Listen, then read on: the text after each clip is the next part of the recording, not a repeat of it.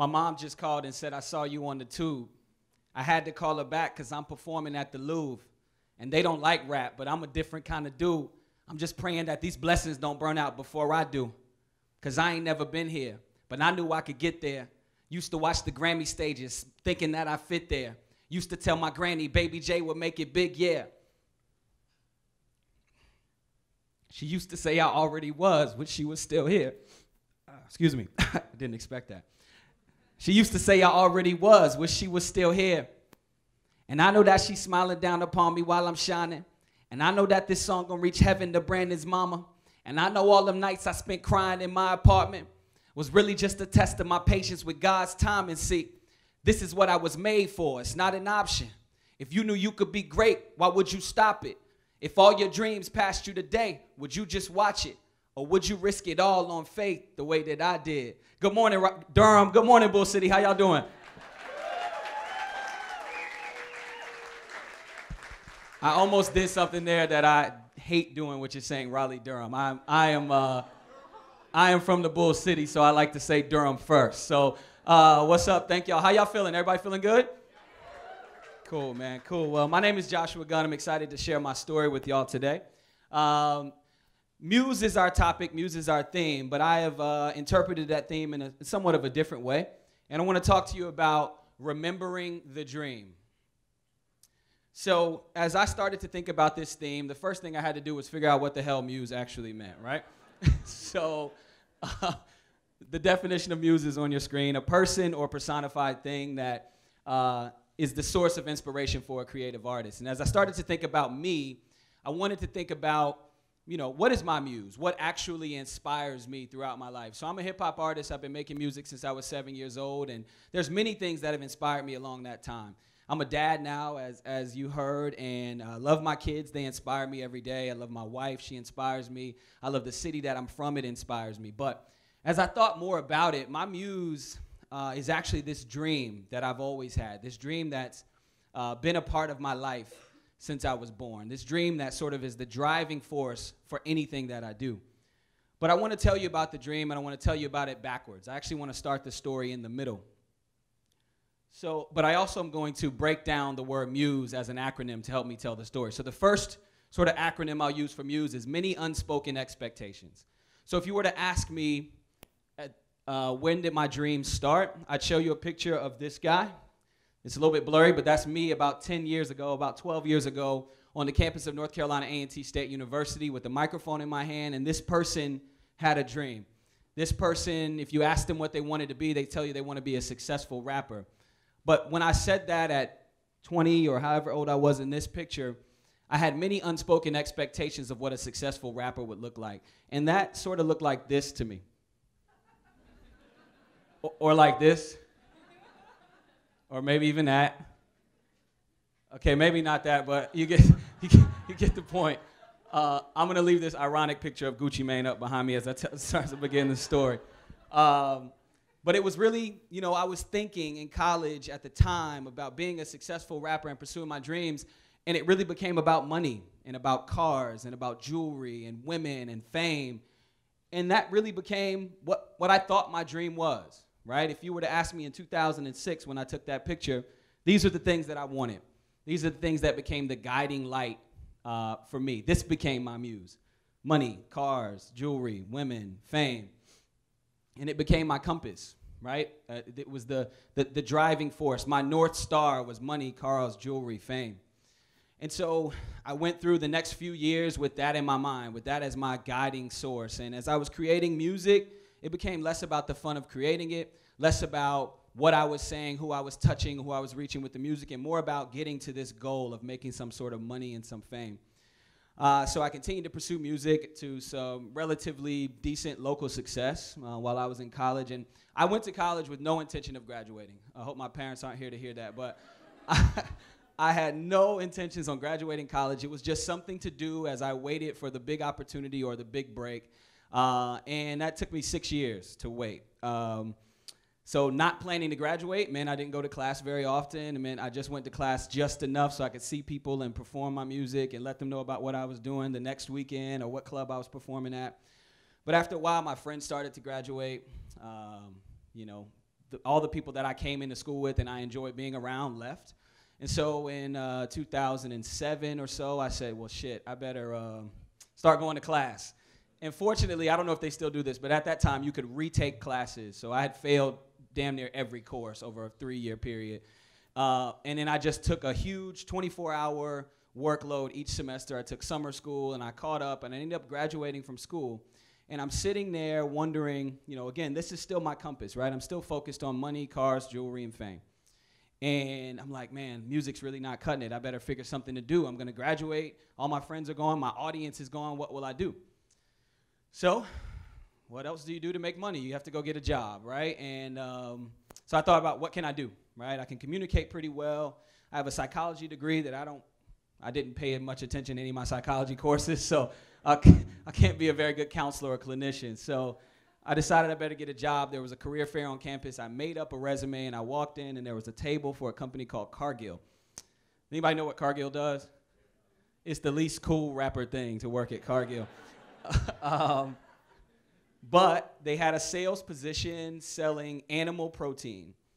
And I was like, okay, I'm gonna sell meat, I guess. Uh, but it's you know sort of big industrial meat factory selling them to distributors and grocery stores. I didn't give a shit about any of that. All I cared about was the fact that they were to offer me $65,000 a year. I had probably $13 in my pocket at that interview. So $65,000 a year sounded like a million dollars to me. So I'm like, sign me up. I don't care. They also were going to relocate me, so take me out of North Carolina where I had spent my entire life, send me to another place that I could live. And they did. So I took a job in the Philadelphia area selling meat for Cargill, um, making a decent, what I thought was a lot of money actually at the time. And I got a really cool waterfront apartment in Wilmington, Delaware. Not, not the most exciting city. but nonetheless, I had, I had what I thought was an amazing view, right? So think about what my compass was at the time or what my muse was. It was just things, right? I just wanted things. So I had this cool waterfront apartment, and I'm like, man, okay, I got to get a car. So $65,000 a year, I got a brand new Ford Taurus. I love that car. It was like, to me, it was like a Bentley. It might as well have been a Bentley, right? Leather seats, sunroof. You couldn't tell me shit in that car. You couldn't tell me anything. So this was a, this is an actual picture of that car.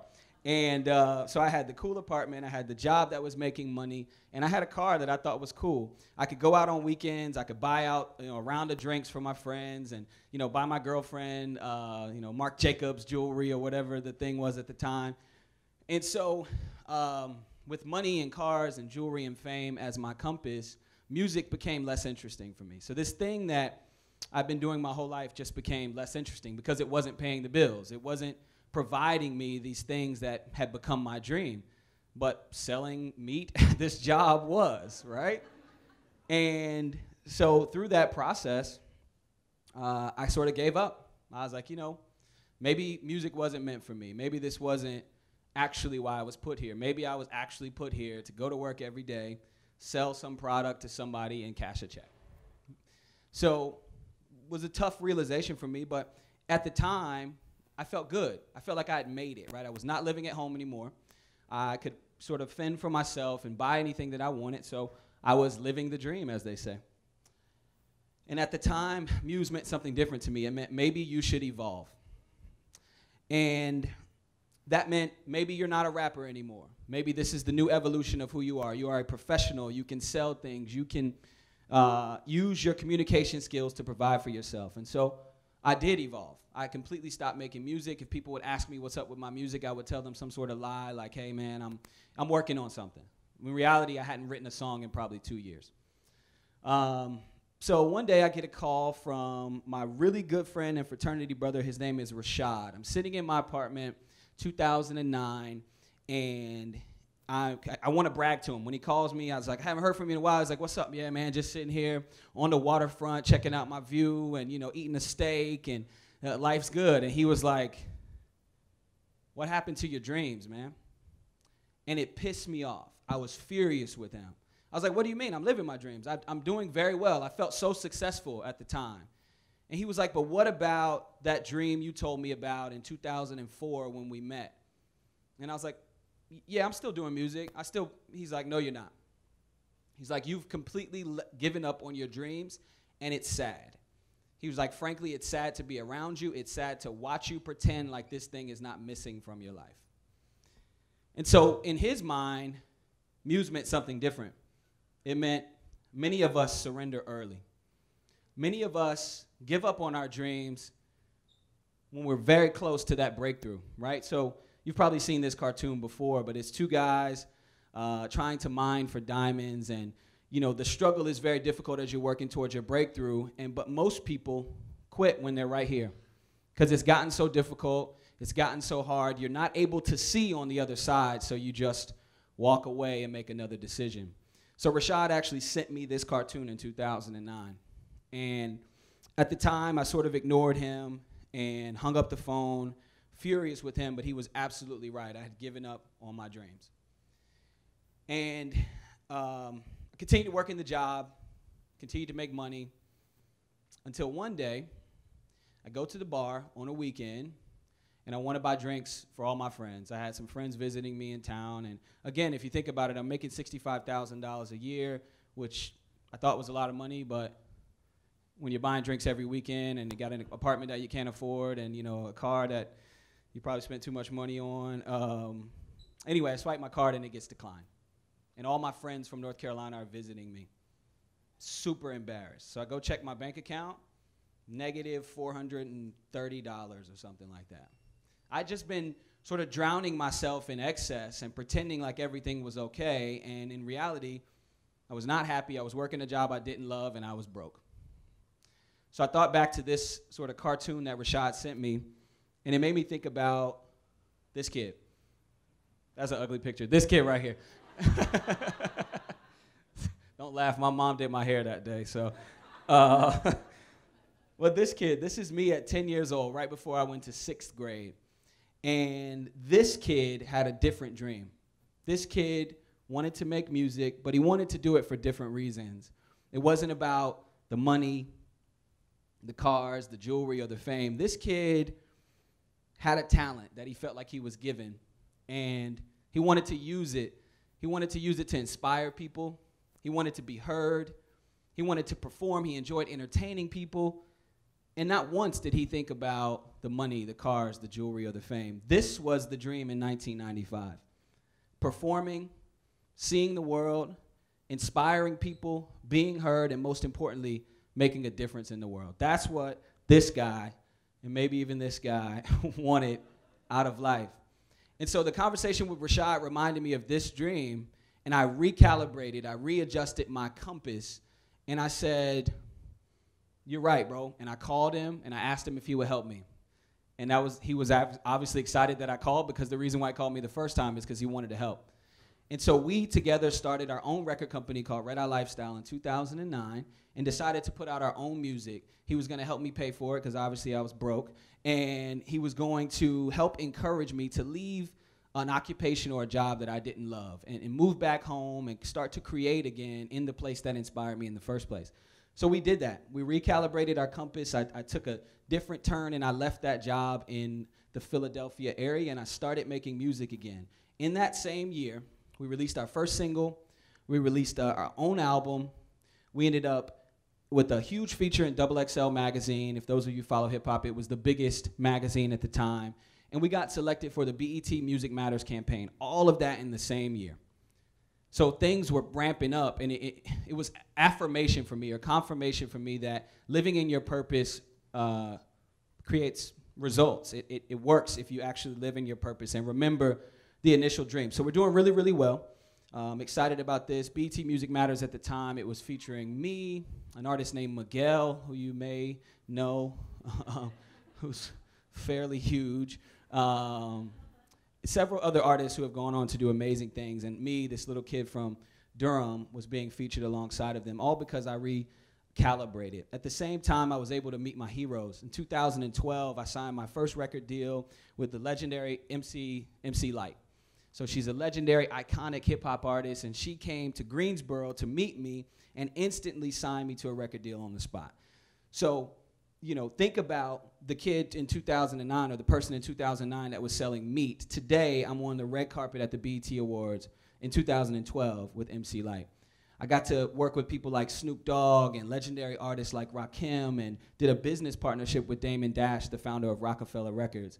And things are going really well. I also got a chance to see the world. That was one of my dreams as well. I've been to Dubai and I've toured in Korea and uh, you know, we did Venice and Rome and Egypt, and I've, I've been able to leave my surroundings, and now I'm feeling really, really great. I'm feeling like Rashad was right, right? Remember that dream. It, it, it guided me on the right place or the right path. So I'm getting close to it, right? I'm sure you guys have seen this cartoon. That's the finish line. And in reality, it sort of looked like this, right? It wasn't a straight line. It didn't get me there overnight, but I'm feeling like I'm still on this path to success. I'm feeling really, really good about living in my purpose and remembering my dream. And this was the moment that, for me, it all sort of came uh, full circle, and I felt really close to that finish line on this night. This was 2017, or 2016, I'm sorry, just a couple years ago. I was featured in a BET series called Music Moguls. I, w- I got a chance to star in the series alongside Dame Dash, Jermaine Dupri, Snoop Dogg, and Birdman of Cash Money. And I'm feeling like I'm really close to getting that breakthrough. But at this moment, standing on this red carpet around all of these successful celebrity uh, personas, something happened. Something happened that uh, re- took me back to that 2006 dream. So all of a sudden, I have everything that I want. If you remember that 1995 dream, I had it all, right? I had checked every single every single one of those boxes that 10-year-old me wanted to do. But I started to think about what 20 year old wanted me to do standing on this red carpet. And all of a sudden, I was like, I gotta go get the money. I gotta go get the fame. I gotta go get the cars. All of a sudden, it triggered that in me again and uh, sort of knocked my compass out of whack again. So I decided I need to pursue a major record deal. Now, keep in mind, for the eight years I was running my own record company, putting out my own music, keeping all the money, controlling my sort of destiny uh, performing, doing everything on my own. But some, for some reason, I felt like I needed to go to a big record label and get a big check so I could drive a Bentley and pull up downtown and have jewelry on and all the things that that 2006 dream uh, was. And so we did. We went and we pursued several record labels. I hired new management. Uh, Rashad, who helped me really get to the point, I sort of put him to the side because he couldn't get me to that 2006 dream. I needed to level up, as they would say. So by leveling up, I found management that could walk me into the doors of Cash Money Records, that could then walk me into the doors of Republic Records, which is the company that owns Cash Money.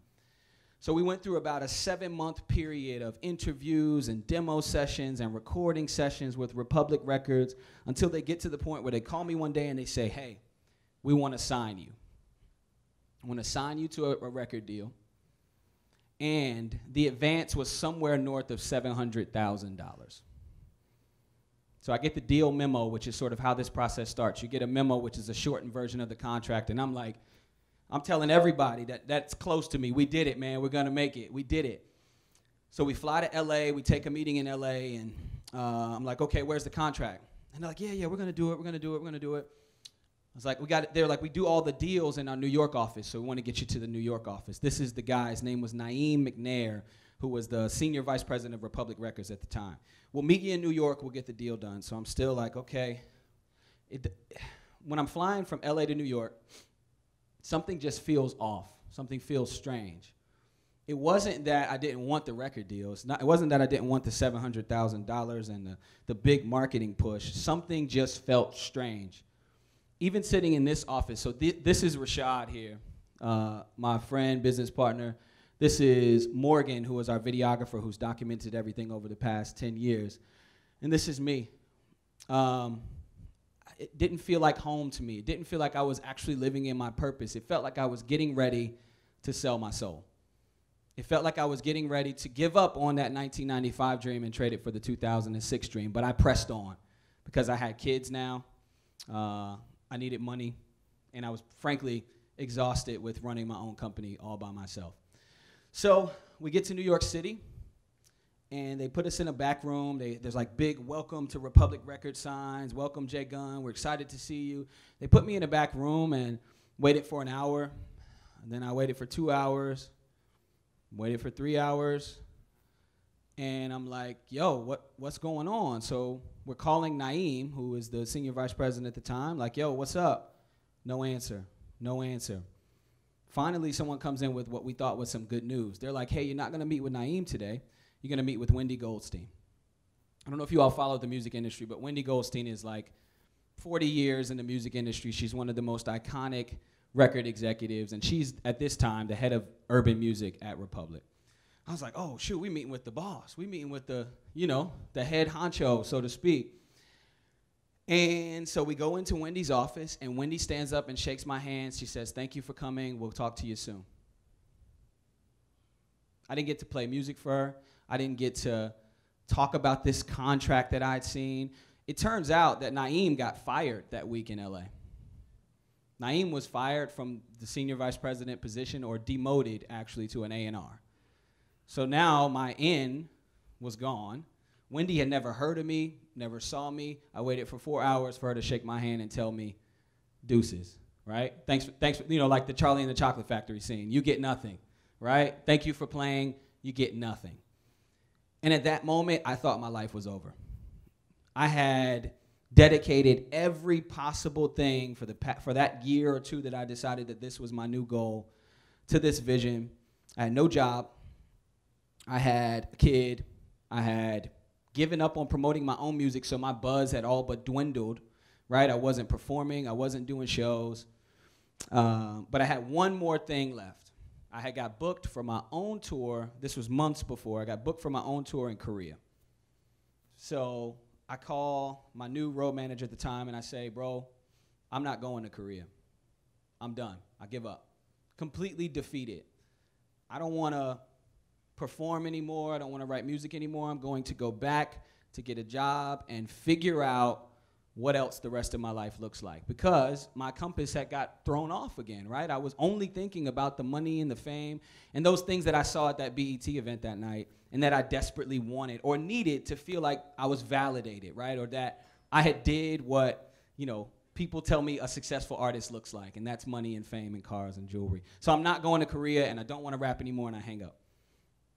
Well, unfortunately, after hanging up on him, he had to pick me up and take me to the airport to get home. So uh, um, so he's like, don't worry about it. We'll talk about it on the plane. We get on the plane and I cry and I cry. None of my team, the people that were around me, had ever seen me like this. I mean, just crying, bawling, grown man tears uh, on this plane from New York to home. And uh, Brown, who was my road manager at the time, he says, Bro, it's gonna be all right. And it that nothing pisses you off more than feeling like your life is over and someone says it's gonna be all right. So I'm gonna fast forward to this picture. So this is me standing in front of a flyer for one of my concerts in Seoul, Korea, just a few weeks after the Republic situation. So obviously I went. And as we took this picture, Brown, my road manager, said, Remember when I told you it was gonna be all right? I was like, yeah. He was like, think about what you're doing. Think about what you're doing right now. Think about what this kid would have thought if you told him that a few years from this picture or this picture, you'd be standing in Seoul, Korea, getting ready to perform at a sold out show with your name as the headliner. That to me, that was my dream it had nothing to do with the money or the cars or that big record deal or a video with Lil Wayne or all the other stuff that Republic was promising me. This was the dream. This was what success looked like. And that was my own internal compass for what success looked like. Not what other people define as successful, not the, the awards or the trinkets that society gives us for uh, these accomplishments. This feeling right here was what I was working for all of these years. That's what I wanted to be. I wanted to be someone who, who saw the world, who used his talents to inspire people, someone who uh, was revered as a talent or a creative uh, in this art form that I had given my life to. In this picture, I keep this on my phone and it reminds me that I made it. And after that, I didn't care what anybody else thought. I didn't care if people thought I was successful or not. I didn't care if people thought I was a failure or that I should give up following my dream because I made it. If you were to ask this kid, this guy is his, his role model. This is the guy he wanted to be when he was standing in his room making tapes and trying to perform for his big brother. This is this is this person. So after that, I reflected on this 1995 dream and realized that I checked every single one of these boxes. But then I thought about the fact that it, ain't, it wasn't really always just about music. It was about being able to make use of my skills every day. So, this talent that I have, I can communicate, I can move rooms, I can inspire people. That's bigger than music. That's bigger than just limiting myself to being a rapper for the rest of my life. And so now, I'm still performing. I'll be performing at Art of Cool Festival tomorrow. I opened a co working space in Durham called Provident 1898 which is centered around creating space and opportunity for underserved entrepreneurs and creatives, right? So being able to use my talents in a different way to inspire and uplift the future generation. I'm a father. This is my daughter, Harlem, right here. And I'm also running for city council, right? So I'm thinking about other ways that I can inspire folks. What can I do to give back to the community that's given me so much? Uh, and it ain't just about rap anymore, right? But I, I am clear now that my dreams have come true, and I want to help other people do that right? And, I, and, and what I'm here to remind you of is remember the dream. Remember what that dream was. Remember why you started in the first place. Not the things that the dream gets you, not the things that you want the dream to give to you, but remember your original dream.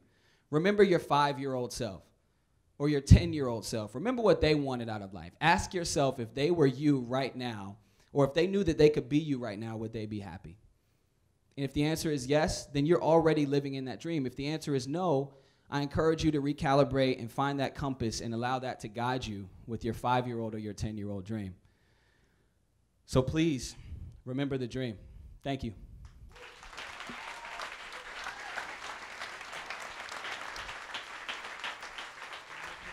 Huh?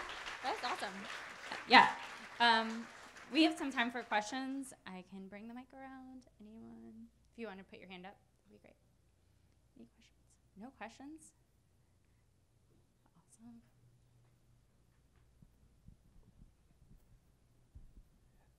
Awesome. Uh, thank you very much. Talk to us a little bit more about uh, running for city council, how it relates to your story, and how you can use the parts of the story you've just shared with us to, to help the city.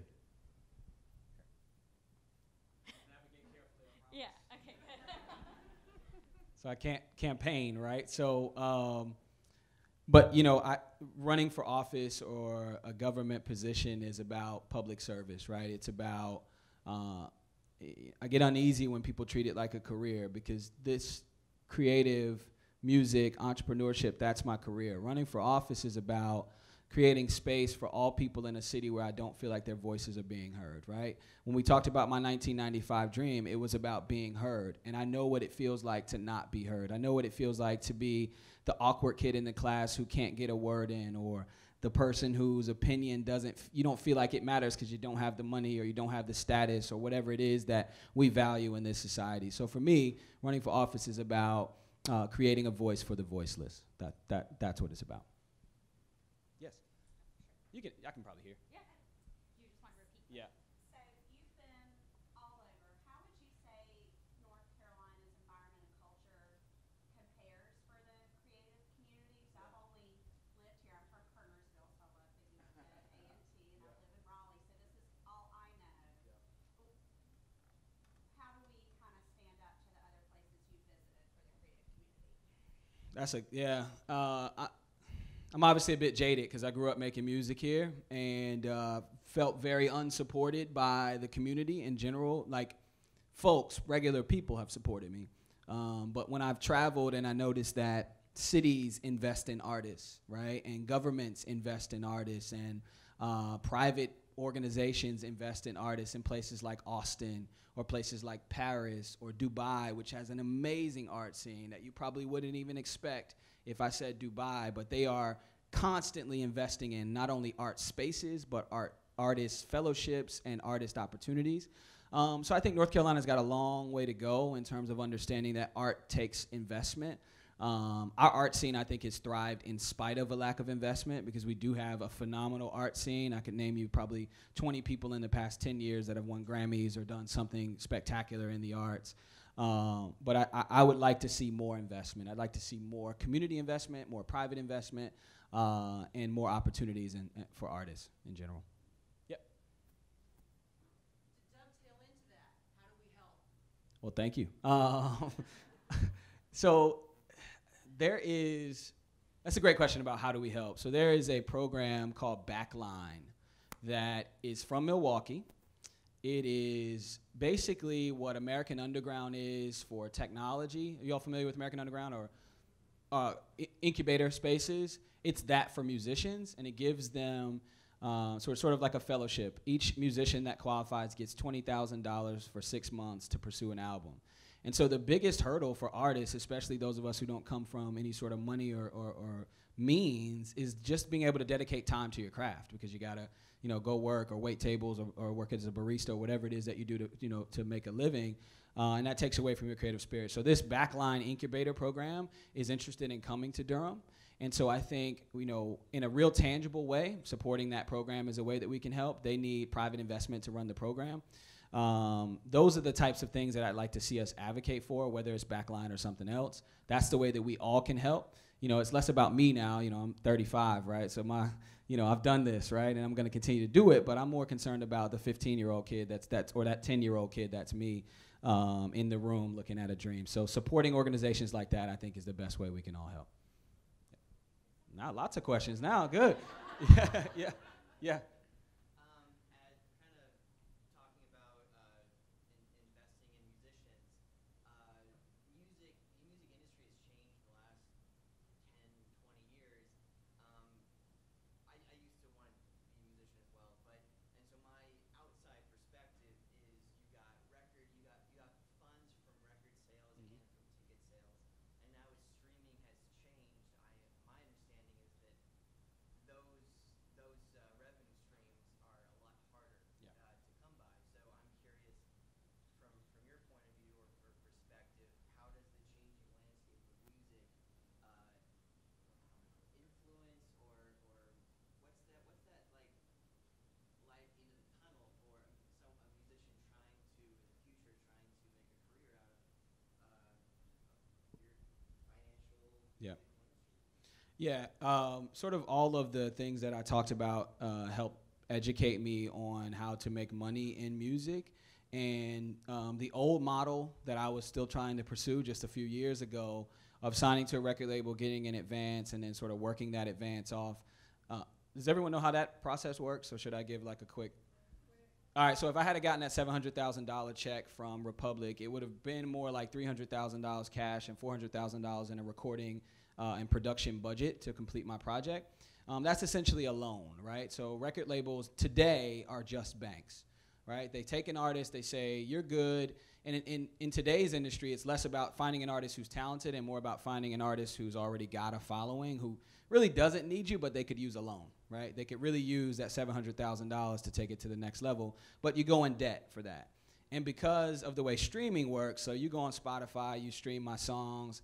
Um, if you stream my songs 10,000 times in a month, I'll probably make about $9, right? So it's pretty broken model. Spotify makes a lot more than that. Um, but the point is to pay off, and if I were to get that $9, that would go to the label every month, and then I would gradually be paying off that $700,000 loan. So it's really not a good deal for artists. But what is a good deal is doing what we do, which is being independent, creating your own product, and then marketing it yourself. It's much harder work, and you don't get the $700,000 up front, which would you know be nice, right? That give you a little breathing room.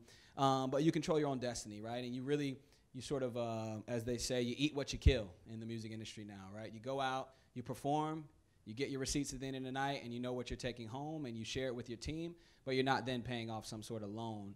Um, and so, in many ways, artists are doing better now. Artists that understand that system are doing better now than they were in. I mean, you've heard the stories about TLC or you know your favorite artist who goes broke as soon as their career is over, um, and that's because they're in debt to the record label and they never really get a you know a paycheck like you or I would be used to. Um, they just get one loan and have to sort of live off that loan forever. Um, but in today's industry, you have artists like Chance the Rapper who sort of did it all on his own, and so he goes out and sells four million records. That's all his money, right? It's all his, and he can then use that to build his own company. Uh, and it really makes artists more business minded, I think. And if you can do that, you can make a long life for yourself. And you know, to your question about the light at the end of the tunnel, I think my message here is that it's not about the light at the end; it's about the actual tunnel, right? It's about the journey that you're on. And uh, people would call me an aspiring artist. I'm like, I'm not an aspiring artist. I'm an artist, right? I got paid to perform tonight. Uh, you just saw me get off stage. I got paid. I'm an artist already, right? Um, and so it's about appreciating the journey, making what you can as you go along, and artists have it's it's a tough industry to make money as an artist, but um, in any arts, right? Not just music, right? Visual arts. I mean, artists sort of struggle naturally. That's why programs like Backline are, are key because um, it gives us a little bit of financial e- equity or equality or whatever it is. But ultimately, it's about the journey, man. Yep. Yep. Um, so I was speaking with someone earlier um, here today, and I was talking to him about the alchemist. Basically, when you decide Yeah. your, your fate, you know, the world kind of aligns and Mhm. you know pushes everything in your path. How um, you s- say that you're, you know, looking to promote everyone's success that's like coming under you because you're 35, you're, Mhm. you know, you worry about them. How do you promote like the education of them keeping in line the people that the world pushed to help them instead of going off to what looks good and what looks fancier Mhm. and you know derailing them off their focus? How would you promote that? to them? Yeah. Um, did, did everybody hear a question?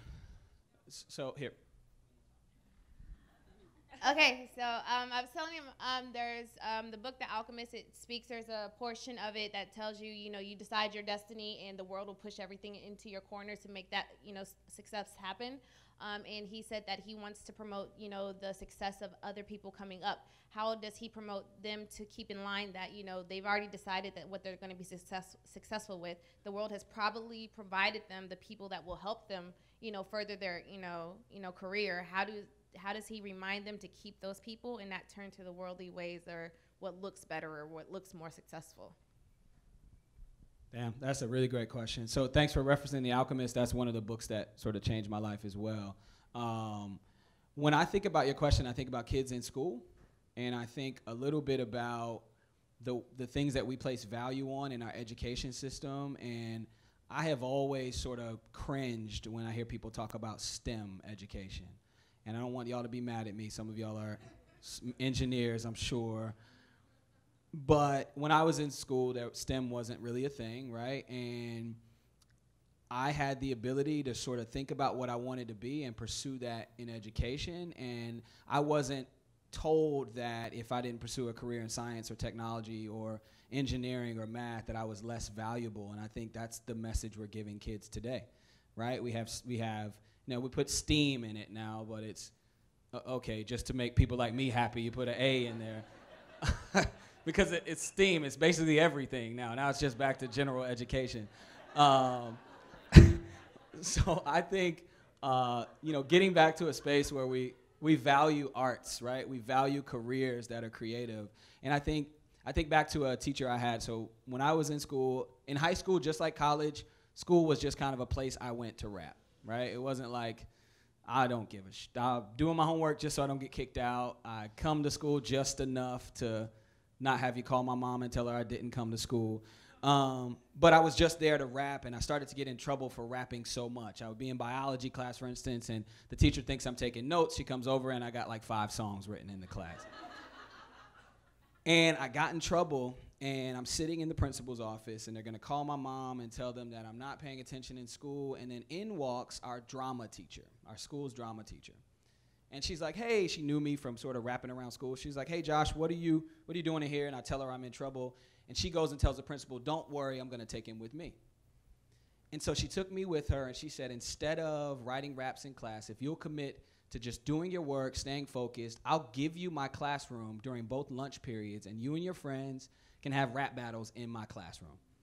So she encouraged me to to pursue my passion. You know, you sort of have to keep it in the lines, right? She's like, just stay out of trouble, but pursue this as much as you want during the school day. And that was transformative for me and the 50 or 60 other kids that would come every lunch period and rap. Um, so I think we need, her name was Miss Hines. I think we need more people like Miss Hines to stand up and encourage kids to pursue their passions and uh, remind them that just, I suck at math, right? And just because I suck at math doesn't mean I'm less intelligent or less special than the engineering kids, right? So I think just sort of recalibrating how we educate kids is how I would do that. So thank you. All right, one more. I'm gonna go with you. Uh, uh,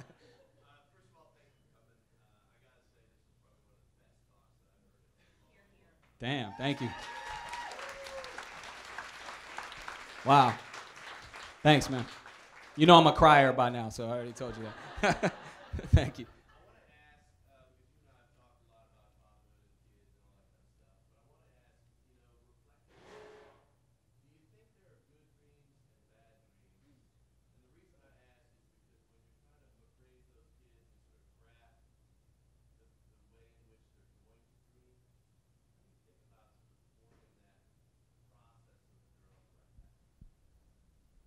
Good dreams and or and bad dreams? Um, I think my answer to that would be sort of to reference back to the presentation, right? I think it's less about the dream and more about the motivation behind the dream, right? I think you know that sort of dead end wall that I hit because of that 2006 dream was because I sort of accepted the dream that I thought everyone else wanted for me, right? I'm like, okay, to be successful, I have to have these things the dream was the same, but the reason behind it was a little bit different, right? And I think if it were me, right, I'm raising my kids to be free and to to, to um, you know pursue what what that that feeling in your stomach, that sort of that thing that you wake up thinking about and go to sleep thinking about all day.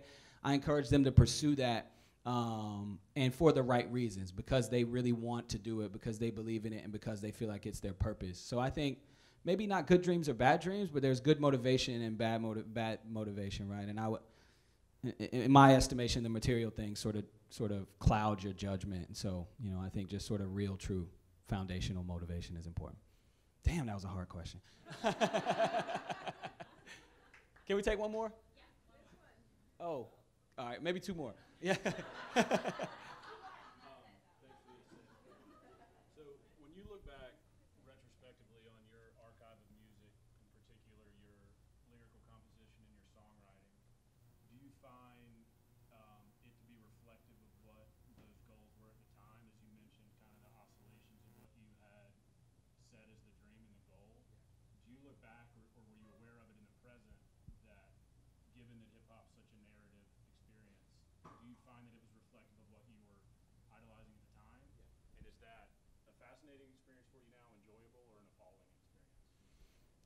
did y'all hear that question?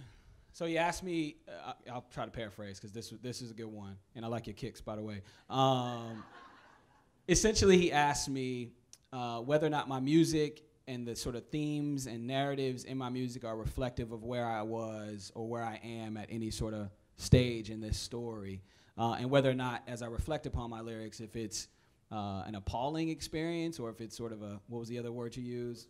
Fascinating man, you know, the music that I made pre college, right? So I won my first freestyle battle at 13. Uh, I signed with Terminator X from Public Enemy as my manager at 14. Uh, released an album with my group The Third Day at 15. Worked with 9th Wonder and Nicolay and all of these Grammy Award winning producers by the, before I was 18. I love that music, right? That music was much more centered on that 1995 dream.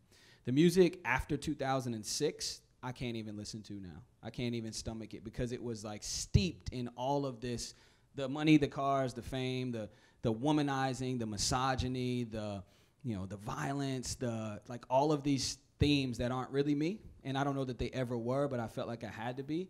Um, so it's the the 1995 to 2006 stuff I really like. The 2006 to 2010 stuff I absolutely hate. It's it's appalling. Um, my music is always about my life. So if you want to know me, if you want to you know get to know me better than a 30 minute talk, just listen to my songs. I, am a completely an open book, right? And um, yeah, go back. I mean, you know that's a part of who I am too, right? Those are things. And the, the, the other important point is. I was rapping about those things and I was also doing those things, right? And so th- that's a whole nother TED talk about how destructive um, sort of chasing money and fame can be. It really, I was destroying myself and, and hurting a lot of other people at the same time. So yeah, it is a bit appalling to listen to those those themes. Thank you for that. All right, I saw the brother in the back, and we're gonna have to go.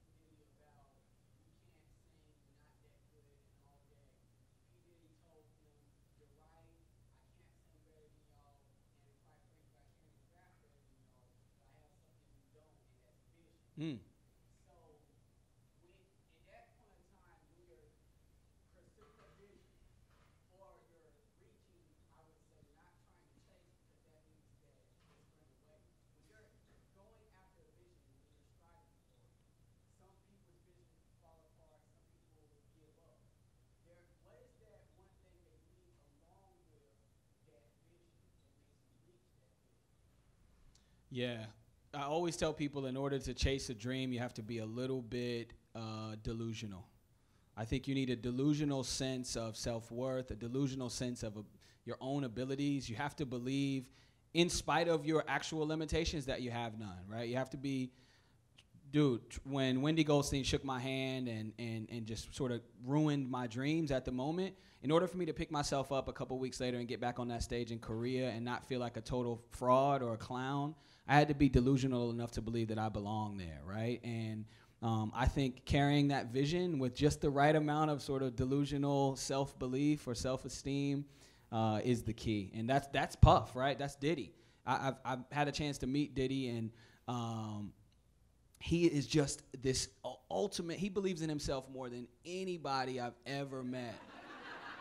like, it's just crazy how much he believes in himself. But what he will also do is make you believe in yourself. So, short story, then I know we got to go. So, the day I met Puff was that same day you saw me standing next to MC Lyte. It was my first BET Awards, and I was standing in line at the bathroom, and Puff is standing in line in front of me to go. Diddy is standing in line in front of me to go to the bathroom because it's a it's like a green carpet at BET. And uh, I turned my head because uh, another guy that grew up in Durham that I know named Ryan Schaefer was at the he worked at BET at the time. He's like, "Yo, Gunn, what's up? What you doing here?" And we're talking, and he like points behind me. He's like, "Bro, that's Diddy behind you." So I turn around, and now I'm nervous. I don't want to speak to him. And he's like, "Yo, what's up, man?" He was like, uh, "What you doing here?" And I was like, "Uh, uh, you know." It's, it's, he's like, speak up. I was like, yeah, I'm here. I'm a rapper. I just signed with MC Lyte. He was like, that's all you, that's your intro? He was like, you should start introducing yourself as what you want to be. He was like, he used to introduce himself when he was Andre Harrell's intern. He would say, I'm going to own this company one day. My name is Sean Combs. right? And, you know, I'm like, okay, he was a little drunk, right? but it, it stuck with me. And then he also, in a classic Diddy way, told me something that I always keep with me as well. He was like, You're gonna get a lot of people that hate on you. He was like, When you show this picture to your folks at home, some people are gonna hate on you and be jealous that you were here. He was like, I want you to remember throughout your career to lean into the love. Meaning that there could be a room full of people, a thousand people, and they're booing you. He was like, Find that person who's clapping for you, and that's your center of gravity, right? Lean into the love and away from the hate. So oftentimes when we pursue our dreams, we want to please the people who don't believe us. Like, you know, we say, you know, in the hip hop community, I can't wait to stun on my haters, right? I can't wait till I get this money and I'm gonna pull up on all the people that said I could never do it. But that shouldn't be your motivation. Remember your mom or your sister or whoever supports you and lean into that love. And I thank Drunk Diddy for that advice, man, because it was super, super helpful. thank y'all so much, man. I really enjoyed it. Thank y'all.